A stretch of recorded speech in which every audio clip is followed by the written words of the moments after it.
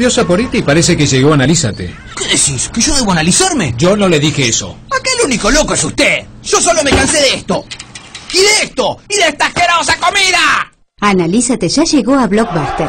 Vení y llevate esta desopilante comedia protagonizada por Robert De Niro y Billy Crystal. Te vas a divertir como loco. Basta, no se hagan loco. Ya les dije que no estoy loco. Blockbuster, viví una noche diferente.